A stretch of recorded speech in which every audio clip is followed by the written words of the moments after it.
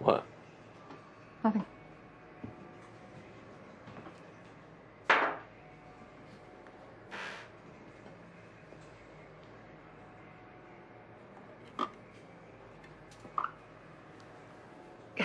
I, have just been thinking about our linchpins.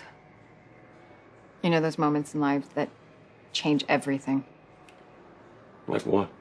I don't know, like meeting you, for instance, you know? I mean, do you ever think about how our lives would be different if we never met?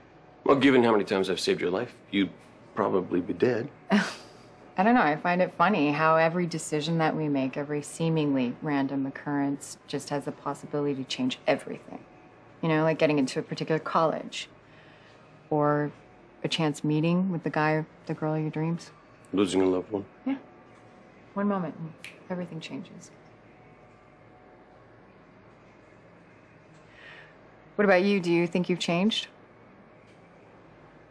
Like, since you met Sophia, for instance?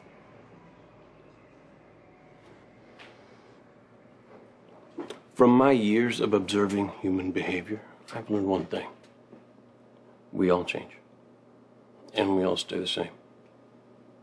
I am exactly the same person I was back then. But in some ways, I'm completely different.